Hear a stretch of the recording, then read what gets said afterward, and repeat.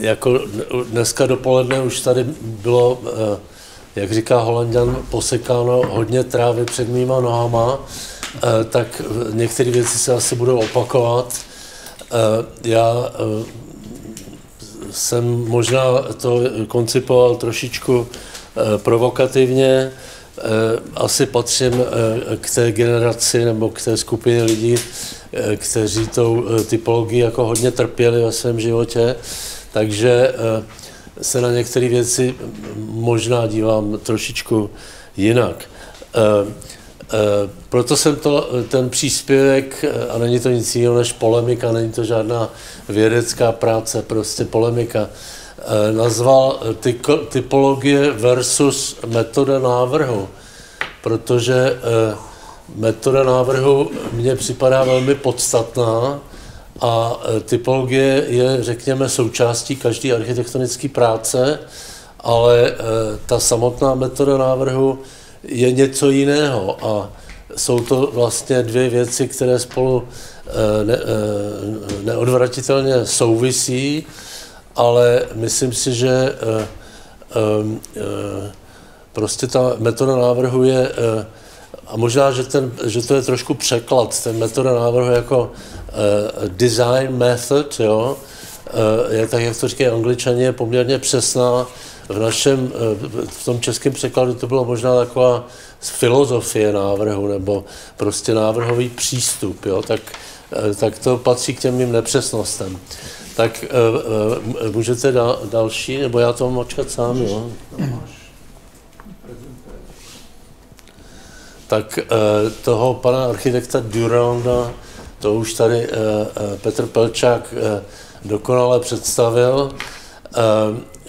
Čili ten začátek takového toho, řekl bych, moderního typologického myšlení, teda někde, někde potom Napoleonovi.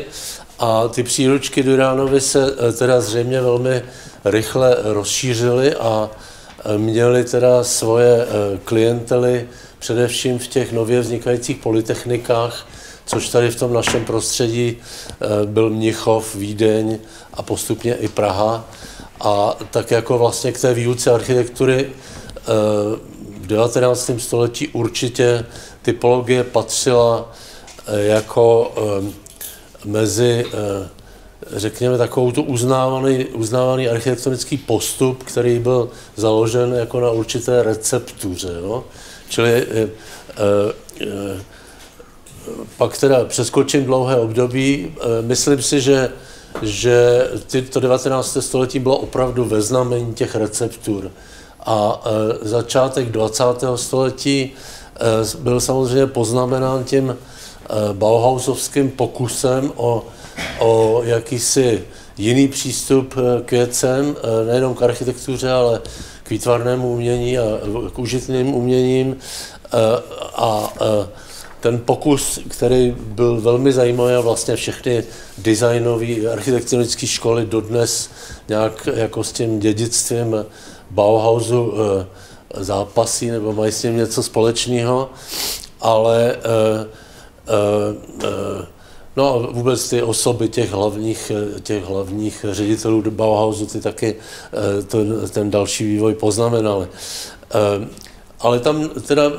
na typologii to moc založeno nebylo, tam spíš bylo to hledání těch vzájemných souvislostí, hledání těch, těch eh, eh, řekl bych, eh, vzájemných vlivů, společných přístupů k věcem. V té, v té předválečné době, teda Raymond mi asi upřesní, tak eh, mám dojem, že to bylo dokonce v době jako už nástupu nacismu, eh, vznikl, eh, vznikal teda, a nechci to jako hmm. dávat do souvislosti s Heimatstylem, ale i ten Heimatstil tam v tom nějak byl zobrazen, ta, ta Bauentwurfslehre, která jako je opravdu ta Wikipedie té doby a Eh, není, není snad architektonická kancelář v Evropě, která by tuhle knížku v nějaké verzi nevlastnila, čili měla obrovský vliv vlastně na takovou tu základní metodologii a na, tu, na ty základní pravidla rozměrů a, a prostě ty, ty nejzákladnější recepty a díky ní se to stalo jako součástí, součástí prostě ty architektonické kultury, architektonického vzdělání. A dokonce bych řekl, že eh, jako ta, taková, tahle ta poměrně fixní pravidla jsou asi tak něco jako v muzice, že prostě člověk se naučí ty stupnice a naučí se ty základní, základní principy komponování, ale to vlastní komponování, to teda tyto příručky samozřejmě ne, neobsahují. Eh, eh, byla pak ta řada, řada pokusů jako vnést do toho, do systému návrhu, do, do toho design uh, method, se různí, různí lidé pokoušeli do toho vnést jakýsi řád, že jeden z nich teda je ten známý Corbusierův systém, Modulor, nemám tady teď ku příkladu tu, tu práci Eh, toho holandského mnicha van der Lána, který zase hledal jakýsi vztah mezi hmotou a prostorem a z toho vyplynula jako určitá pravidla, že jakési pokusy ne eh, fixovat eh, typologické principy, ale, ale určitá všeobecnější pravidla vztahující se k architektonické kompozici a k architektonickému dílu. Eh, beru to trochu rychle, není to dlouhá přednáška, čili po válce eh, eh, pokus o znovu obživení, oživení Bauhausu, ta Hochschule für Gestaltung v Ulmu, která se jako vycho, začala vychovávat novou generaci designérů. Tam bych řekl, ta architektonická složka tak trošičku Eh, trošičku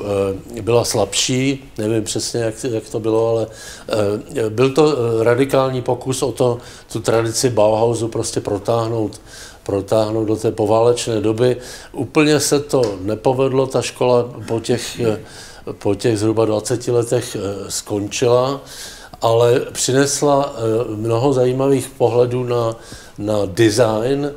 design eh, prostě v, široké, v širším slova smyslu a byly tam, byla tam řada pokusů o formulaci těch návrhových metod designu.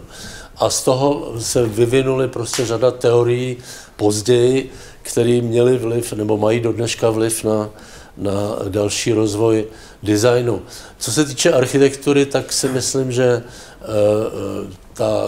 korbisierovská tradice, která která se jako po válce, po druhé světové válce začala trošičku spochybňovat, tak určitě eh, jeden z těch největších eh, impulzů, jak vlastně eh, tu, taková ta, ta základní témata atenské charty prostě přivést do debaty, tak určitě byl tým ten, známá jména jako jako Aldo Fanajk, uh, Jabákema, Ungers, Giancarlo De Carlo a další. A, a jakýsi pokus o, řekl bych, takový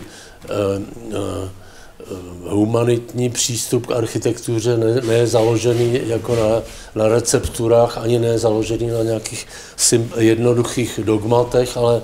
na pokusu jako najít určité vzorce, podle kterých by eh, podle kterých by mohlo být navrhováno. To je samozřejmě známo o tom, o tom uh, uh, siročinci Aldo Fanajka, který byl vel, jako inspirován vlastně jeho cestami do Afriky, kde, kde tak podobně jako ten Levi Strauss hledal, hledal prostě ty, ty základní recepty, kterými se vlastně řídí primitivové a, a z toho odvozují svoje stavby, tak se snažil nějaký takový princip jako najít vlastně v tom, mělo to, řekl bych, velký vliv, e, e, určitě teda na té holandské scéně, e, to tady mám jenom jeden příklad, ne, nechtěl jsem to nějak moc do šířky, ale určitě znáte ty architektonické přednášky Hermana Herzbergera, který byl jeden z takových jako těch mladších, mladších souputníků toho týmu ten a taky tady přednášel u nás ve škole a eh, Herman Herzberger vždycky mluvil o tom lidském rozměru a všimněte si, že eh, tady jsem vytáhl pár pojmů jako z toho, z těch jeho přednášek, tak mluví o struktuře a interpretaci, formě, struktuře jako tvůrčí kostře, řádu stavby, funkčnosti, jako typologie tam teda vlastně nikde není. E, jo, čili přenáší to do kategorií, e, respektive těžiště architektonické práce, vidí prostě v zaostření na, na tato témata, nikoli na používání receptur. On teda Eh, bych řekl, pokročil až tak daleko, že si ty receptury vyvíjel sám, eh, což možná byla trošku úchylka toho holandského strukturalismu, kdy, eh, kdy nakonec rozvíjel takovou tu myšlenku té základní prostorové buňky, že jo, kterou uplatnil teda v řadě, v řadě svých projektů a, a později už to taky opustil. Ale v té v té učebnici, kterou, která byla přeložena do češtiny, tak tam jako evidentně eh, eh, je to, jako by to míří naprosto mimo, mimo typologii. Eh, jako,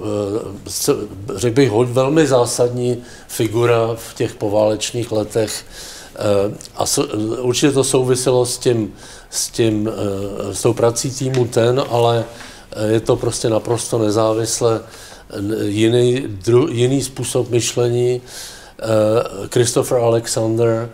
který teda eh, v 60. letech začal hledat si ten pattern language založený na eh, vzorcích lidského chování a ty vzorce přeneseny do i matematických formulí. Musím říct, že jsem teďka nedávno objevil jeho přednášku, kde eh, doporučuji, doporučuji přednášku na, eh, na eh, nějakém sympoziu lidí, kteří dneska prostě se zabývají umělou inteligencí a a bylo to strašně zajímavé, kde hledal souvislosti mezi tím, co on dělal v 60. letech a postupně eh, vyvíjel až někam, a pak říkal, že už dál jako nevěděl a eh, na to eh, a, a jako kladl otázky těm současným lidem, kteří tahnou vlastně artificial intelligence, do jaké míry vlastně jsou ty dvě disciplíny schopny si se najít dneska. Tak to je prostě na dlouhou debatu. E, e, pak teda e, ta reakce někdy v 60. letech postmoderní, jednak z toho románského prostředí, Aldo Rossi, to už tady dneska to měl Petr Pelčák taky v tom jeho přehledu, samozřejmě Robert Venturi taky, taky prostě jak, jakýsi hledání Eh, typologie, která, eh, která navazuje na kvalitu města, na, eh, na prostě jakýsi vyšší řád v té typologii, než, než jenom návrh jednoho typologického druhu, ale, ale ta vazba jako mezi těmihle pokusy a tím, tím komplexním městským prostředím, ta tam určitě byla. Eh, designéři mezi tím, eh, jako poslední obrázek byl od té Hochschule v Ulmu, designéři mezi tím se velmi posunuli, tam byl jako obrovský vývoj, mělo, měla na to vliv teda Amerika, měla na to vliv Velká Británie, ale i řada těch západních států. A, a najednou prostě v oboru designu, to se pouštím trošku na tenký let, ale Eh, nemůžu se to odpustit. V oboru designu najednou jako byly nové výzvy, jako, eh, jako obří letadla, jako lety na měsíc a podobně a, a tam prostě ta jako eh, řekl bych, takový ten jednoduchý přístup k architektonické práci, tak na to už vůbec nestačil. Čili tam došlo k jakémusi kvalitativnímu zlomu, kdy prostě designéři, a je to i v té teorii designu, se museli snažit najít, najít Eh, pohledy, které dovolovaly prostě komplexní spolupráci ve velmi omezeném čase mnoha profesí, tak, aby, eh, aby eh, to prostě do sebe zapadalo. Tak a to mluvím teda o letech 70. Nevím, jestli jste někdo viděl film o tom, jak vznikala první 747 Boeing, tak, tak to je fakt jako zajímavý. Eh, eh, něco podobného vlastně bylo v tom, v tom eh, městském prostředí, zase ta poválečná doba jako s tou atenskou chartou někam došla, tým ten tomu dal jakýsi, jakousi nový rozměr, ale v té samé době, koncem 60. let, se začaly prostě měnit úplně názory na ten městský organismus a Eh, a eh, zase prostě angličani eh, s nějakou vazbou na tyhle ty předchozí události přicházejí s tím space syntaxem, o kterém tady je mnoho lidí, kteří o něm ví mnohem víc než já. Zase je to jakási, jakýsi pokus o analytickou metodu, která ale je schopná zpracovat obří data a může sloužit jako podklad pro, pro Eh, pro komplexní návrhy prostě velkých aglomerací a, a podobně. Eh, no a eh, chci to ilustrovat i tím, že v, to, v té teorii designu prostě se objevují teda vědecké práce nebo pedagogické práce, které jako velmi dopodrobna analyzují tu, tu, tu, ten celý objem vlastně designerské práce a hledají v něm jako nějaký zásadní body. E, není samozřejmě čas na to, to nějak rozebírat. Tohle už jsou možná takový trošku populární příručky, které v poslední době ten design thinking e, přivádějí jako do, e, na, na, na takovou širší bázi. Prostě ten vývoj designu a architektury se jakoby hodně rozdělil, přičemž eh, si osobně myslím, že eh, designéři de facto, eh, jak tady dopoledne padlo, že málo komunikujeme s, těmi našimi, s tím naším prostředím, tak myslím si, že designéři k tomu byli teda přinuceni vlastně podstatou své práce a že architektura si trošku zachovává takový archaický přístup tak, jak jsme byli zvyklí, ale tohle je třeba doklad, eh, doklad toho, že i v těch architektonických kruzích se samozřejmě o tom debatuje. Ku příkladu tato práce Richarda Fock z Antwerp, který taky pracoval jednu dobu v Delftu, který se zabýval opravdu jako zna, tou, tou, tou, tím znalostním segmentem v architektonickém návrhu a snažil se nějakým způsobem eh, eh, zobrazit vlastně ten architektonický cyklický, cyklický proces, kde eh, prostě navazují věci na sebe a jsou v určitém vztahu, tak, tak to je rozhodně jedna z těch teoretických prací, které posouvají prostě ten pohled dopředu. No, pak eh, blížím se ke konci, tak řekněme ta, to období eh, eh, velkého úspěchu Superstars, vybral jsem teda tu jednu, kterou znám, tak Office of Metropolitan Architecture přichází s tou ideou prostě té ikonické architektury, která jako má svoje plusy a mínusy. Každopádně má velký publikum, má velký úspěch eh, a eh, má i teda vliv na architektonickou teorii, zejména v tom, že, že Eh, klade důraz na tu programovou stránku, taky Rem Koolhaas je ten, bylo by hezký, kdyby tady býval seděl dneska při té dopolední debatě. Ta programová stránka je pro něj esencí architektonické práce a on vlastně eh, manipulací programu de facto generuje nový scénáře pro to, jak by ty baráky mohly vypadat. No a tady končím teda obrázkem, tohle z knížky eh, toho děvčete, který jsme tady měli na podzim v našich November Talks, eh, Farshid Musavi, která pochází z té školy eh, kolhásovské a která teďka zcela zpětně hledá jakousi typologii současných budov a moc hezky mluví o tom, že architektura je jako open source, to znamená otevřený zdroj informací a že vůbec není potřeba zůstat jenom v nějakém segmentu, ale že vlastně ta neurální síť těch architektonických znalostí, že je potřeba využívat všemi možnými způsoby. No a co asi bude otázka do budoucna, je, co s námi udělá Eh, eh, umělá inteligence, protože víme všichni, že naše profese během posledních 20-25 let byla neuvěřitelně změněna digitalizací a eh, jsem zvědav, co se během dalších 25 let stane ve, v, v tom poměru k umělé inteligenci, zejména tam, kde jde o databáze, o znalosti, o schromažďování informací. Děkuji za pozornost.